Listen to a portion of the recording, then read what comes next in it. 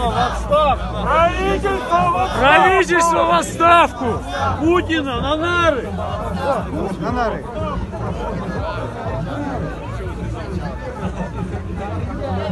Меняется на билеты.